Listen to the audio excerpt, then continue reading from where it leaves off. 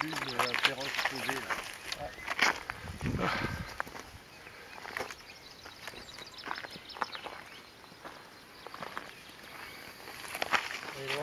Non, elle, elle est dans la longue vue de la d'Alain. Excellent.